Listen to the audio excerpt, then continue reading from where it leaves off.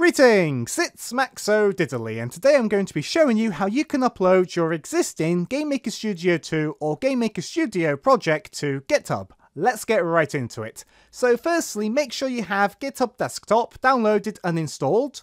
There'll be a link in the description below for you to do so. And once you've got all that set up, you want to go to File and then go to Options. And you want to then make sure you are signed into a GitHub account. Once you have, you can close this window. Then you want to go up to File and then go to Add Local Repository. Then you want to click on the Choose button.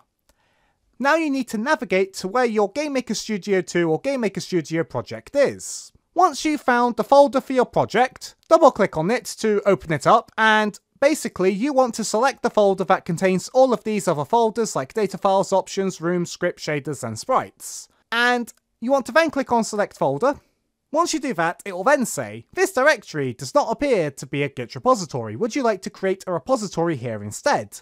The blue text that says create a repository, click on that. Then you want to give your repo a name. I'll stick to what it recommends and call it Epic Space Game. You can add a description if you want to. I'll type Blair. Local path, keep that the same. You can initialize it with a README if you want to, which is going to be a little document that you can customize to tell people what your project's about. For Gitignore, you do not need one for a GameMaker Studio 2 project, or for GameMaker Studio. And for license, you can keep it the same if you want to. Then click on Create Repository. So now we've got a local repository for our GameMaker Studio 2 project. Then you want to click on Publish Repository up here. And for the repo name, keep it the same. Description, keep that the same. If you want, only you and anyone you invite to your repo to be able to view the code, you want to keep this, keep this code private tick box ticked. But if you want anyone to be able to view this code and make changes, you can untick this, but I'll keep it ticked. Organization, you can add one if you want, but I'm not going to. Then we click on Publish Repository. This could take a while, depends on how big your project is.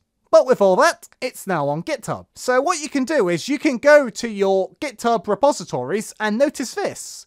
We have now got a new private repo called Epic Space Game with the description that we gave it before of Blair, and it was updated just now. So, thanks for being the great audience, be sure to leave a like in the comment if you enjoyed, and subscribe for more tutorials. Thanks for watching.